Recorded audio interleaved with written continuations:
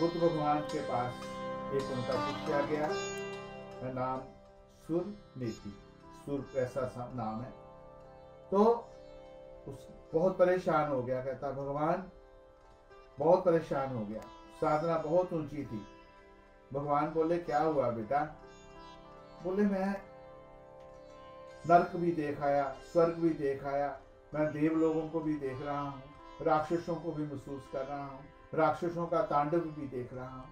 सब कुछ मुझे महसूस हो रहा है। क्या करूँ मैं? मैं जो चाहता हूँ मेरे सामने हाजिर हो जाता है। मैं दुखी हो गया। भगवान ने कहा, तू तेरी साधना अभी तेरी, अभी इस तीसरे नेत्र पे ठहर गई है। तो जो भी कल्पना करता है, वो यथार्थ हो जाता है। वो भी, जो भी यथार्थ होता है, वो कल्पना हो जाती है।